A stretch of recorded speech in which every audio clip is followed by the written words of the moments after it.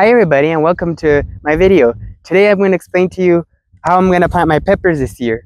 I've had a very good experience with these peppers, the way I've been planting them in the soil. We've tried to get this soil tested before and it, it does need a lot of nutrients, but the, this year I decided to do a little special than other methods I've done before.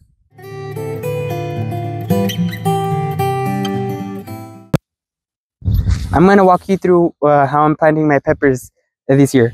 First of all, I'm, as you could tell, I spaced them somewhere around two feet from one pepper to another. And over there, I'm planting the smaller peppers that are around one and a half feet of space per each. The peppers that are over there are spaced in uh, less because they need to be, they grow in a smaller bush, which require, which means that they can be spaced more closer together. These over here are grow a little bigger but th these don't grow that big because these are hot burrito peppers but they're a special kind. But i decided to plant them in the front so i can manage these a lot more easier. I'm going to show you that what kind of mixture i used before i planted them in the ground. This um, soil mixture the soil that is store-bought from kellogg's um, organic soil and it also has a mix of peat moss in it. I added a little bit of like I added about half and half of each so that it's more fluffy. The peat moss helps with the fluffiness and the normal soil has a lot of nutrients so that it could be planted into the ground with enough nutrients. What I decided to do this year on the ground so that they can grow better than the year last year that I planted them is in this soil as you could see that I took out from the holes it's kind of brownish it it's because I added some more of the, the Kellogg's uh, soil and then I added some fertilizer, um, nitrogen. It's called, I called, it's called uh, Down to Earth Feather Meal.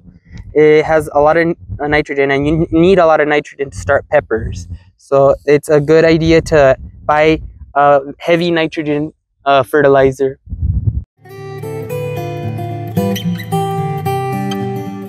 Now I'm gonna plant these peppers to take these out carefully, I am going to first take out the tag so I don't lose what it is. Then I'm going to squish the bottom right here so I can loosen any roots that might be getting close to the bottom. And then squish it on the sides to make sure that it's loose enough.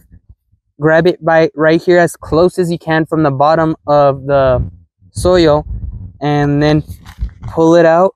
Most better if you tilt it towards the ground, but make sure you have your hand in like a U shape so that it, it when it comes out, all the soil gets stuck to your hand. Grab it, turn it around, and I put it in. But right now, I want it to stay a little bit in the air like this, so I have to add a little bit of the soil I took out originally.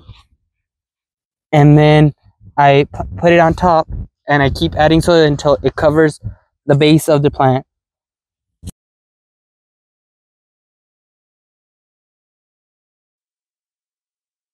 And note, you have to remember to take off all these bottom leaves because these leaves make it lose more energy. You need to remove these leaves so that it can grow bigger and stronger.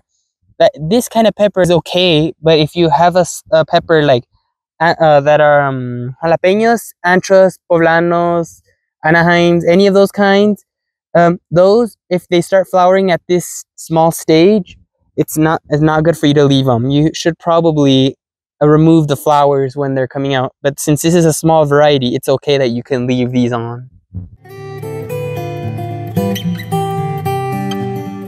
These peppers are almost at their full size.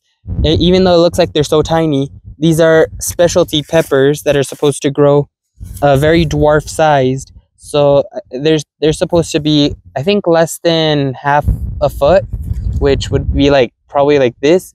So this is as long as I keep removing these bottom leaves, uh, it's going to keep growing and it's and it's going to produce its small peppers. These are going to be similar to dwarf Thai peppers. Large peppers like these kinds, which are jalapenos, um, are if you start seeing any flower buds on them at this stage, even though it looks kind of big, it's still not ready for um, producing flowers. If you do see them, pl pluck them off no matter how much it hurts. but uh, so that you can be able to make let it grow bigger because the bigger the plant the more peppers you'll get out of the of the single plant. Like I said, always remember to remove these leaves right here. And if you see any come out from the middle, I don't know if um, if this is visible, but in between each of them, you could see like a little tiny sprout. That sprout, always remove those. Those are uh, suckers. Those will make sure, those will suck out lots of the water that is coming into the plant. And those aren't really useful for any sense. So it's better for you to leave this to grow. Oh, oh and also, if you, as you can see in this plant, it already divided into multiple stems.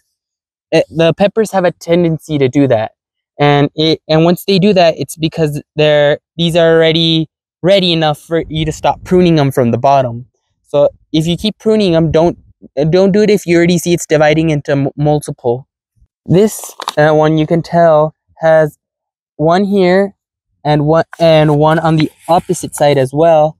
And and you can tell that um these are gonna these are ready enough because well, the way peppers grow is first they start off as one single stem such as this one.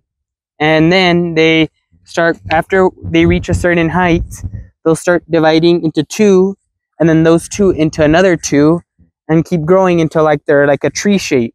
So th that's how the way peppers work and you should always be watchful for those div divisions. Once you see those divisions coming up then stop pruning them from the bottom and and if you start getting flowers from the bigger ones remove them so that you you until you, they get to a nice size. Like for jalapenos in this case I, I can leave them for until they're about maybe one foot one foot and a half uh, and then you could uh, you can leave the flowers and by that time they should be able to produce large peppers. In this case jalapenos are these are our small jalapenos not large jalapenos.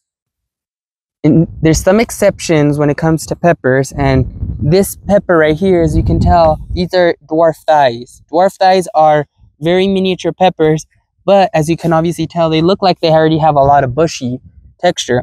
Dwarf Thais split almost instantly after they're growing so the best thing to do with dwarf Thais is don't prune them at all still all the leaves that touch the ground remove those because those, those can cause diseases but when when you're trying to do plant peppers that are bushy, it's just better to try to prune only the side so that it looks so it's not so bulky. And that that but other than that, these can flower very fast and those are okay for you to let them flower. The peppers are very miniature and they will be ready once they start flowering. They could be ready in like two weeks already and you could harvest them and there's going to be a lot of bunches of them. Thank you for watching these videos. I'll keep you updated on how these peppers are going to grow so I can show you how to harvest each kind of pepper and when to harvest each kind of pepper. Don't forget to like and subscribe to stay updated and don't forget to click that notification bell. See you later!